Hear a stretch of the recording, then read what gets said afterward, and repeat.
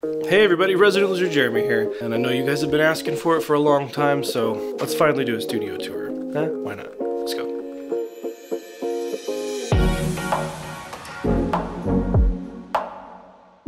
So I'm gonna try to do this with a gimbal and mostly handheld. I apologize. I've never done a video like this, so this may be a train wreck. Typically I would start outside, but it is like minus five outside, so I'm not gonna go outside. So we're gonna start in the lobby.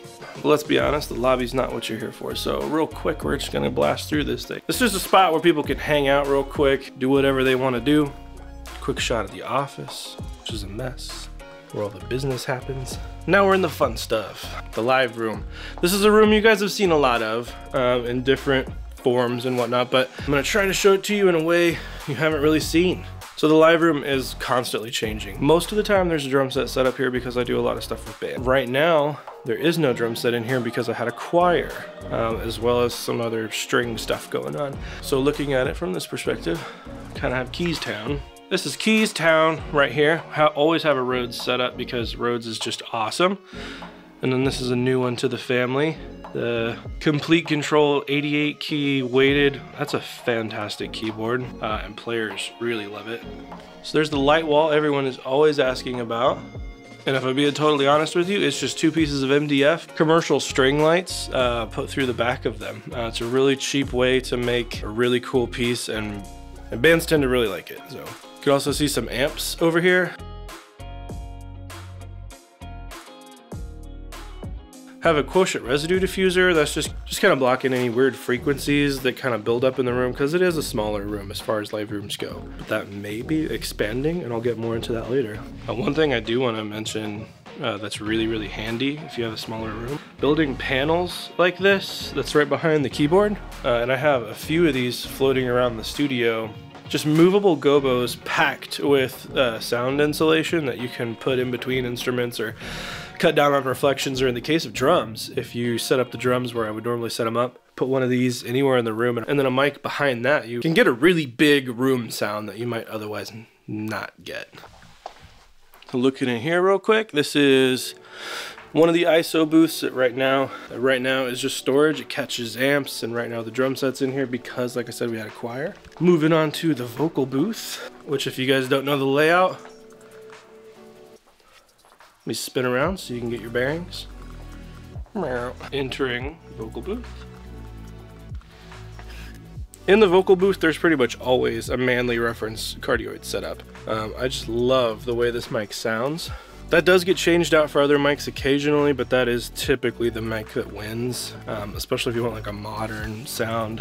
I know a lot of people like 87s. Was never my favorite sound I feel like I can do a lot more with that Manley. One of my other favorite vocal mics is always set up here at the studio.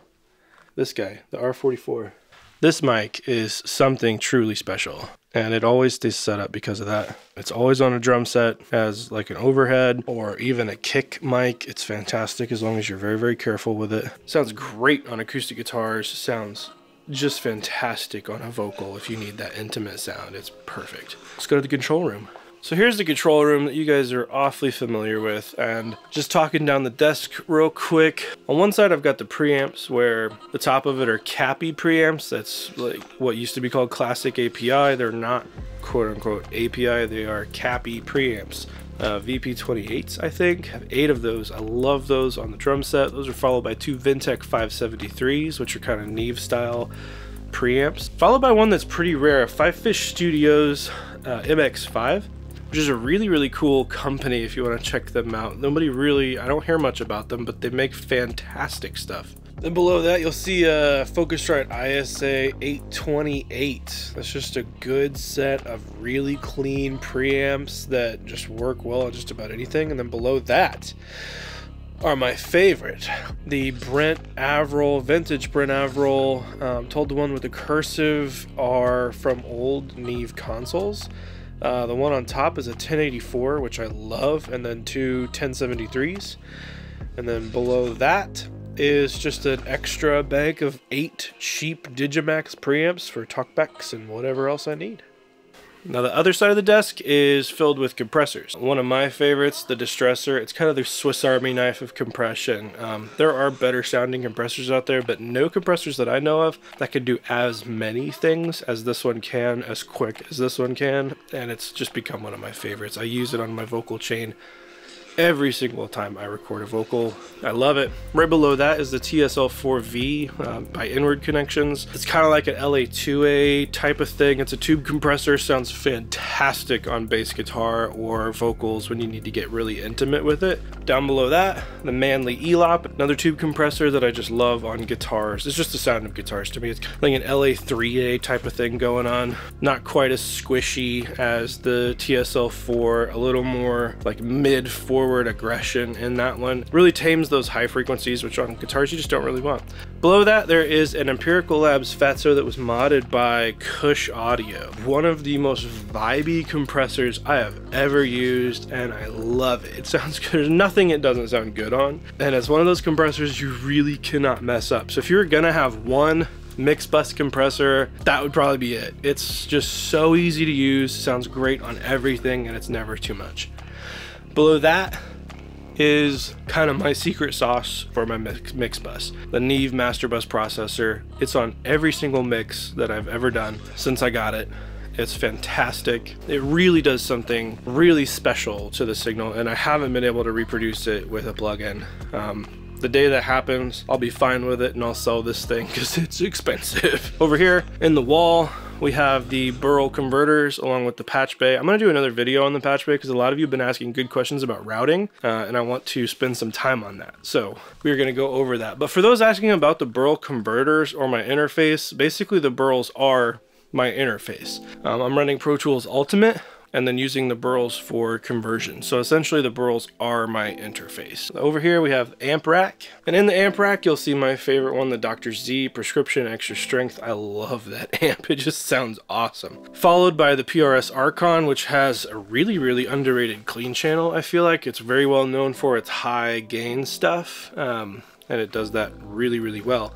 Uh, right below that is the Mesa Mark V. That amp can kind of stand on its own. It's definitely an expensive amp, but really you're kind of getting like nine amps because there's three different channels and then each one of those has three different circuits and it's just crazy the versatility that that amp has. Below that is the Kemper. A lot of amps come through here that aren't mine and I get to profile a lot of those amps and I love it. I know there's talk of the Quad Cortex coming out which is very very exciting and any ability I would have to profile something more accurately is always a welcome addition in the family here. So for right now I think the Kemper is a great little unit even though it is getting on 10 years old still use it all the time. Anytime I play live, I'm taking the Kemper. I'm not taking amps anymore. I don't have to worry about somebody stealing it. I don't have to worry about losing anything if there's a power failure. All my stuff is saved on a flash drive and it's light to carry around. Could take you guys to the lounge. In one of my other videos, I have talked about getting some water damage recently. It's getting taken care of. So now we're in the lounge. This is just a comfortable spot where people can kind of hang out, unwind during a session. Just meant to be a comfortable spot where people can, chill. There's coffee, there's a TV, couches where you can just hang out. It's nice to have a good spot to go. So guys, there you have it. There's a quick studio tour for you. Like I said, I, because the studio's just recently had some water damage, mostly on the lounge side, there will be some changes that I'm going to be making. Uh, I'm still deciding if it's going to be a small change just to the lounge itself, or if it's going to be kind of a larger change where I have the chance to expand the studio into that space and really like almost double or triple the effective studio size that I have available to me. Still making those decisions. There's a lot. But this is effectively still the same studio it was when I had it. I it's constantly a DIY project. Me and my family are constantly making changes to it as we go. The way I see it, I learn as I go, and I'm making changes the more I learn about the space. And I've had this for nine, ten years, constantly changing things. And the way it is now, the general layout of the studio hasn't been changed since we built it because had a shoestring budget to do it and we got it done. The little changes and improvements I've made along the way have done a lot for the space. That may be changing pretty recently, so let me know what you guys think about expanding the effective studio. Is that something you would do? Or should I keep it to what I know works? Let me know if there was something I didn't cover that you want me to cover. Let me know if there's something you want me to go into more details about. If there's anything else you want me to dive a little more into as far as like general pieces and why I chose some certain things, that's fine, but I don't want to make this video too long. So anyway, guys, I hope you like this. I hope the studio tour gave you some insight. I hope my ability as a cameraman was uh, not terrible. Anyway, guys, I'm Resident Loser Jeremy. If you like this one, hit that like button. If you want, go ahead and hit that subscribe button and the bell, because sometimes I go live, we do mixed tutorials, we do weird one mic experiments. We talk about life in the music industry and how to maintain meaningful relationships in an industry like this. I had fun. Hope you guys did too. I'll see you guys in the next one.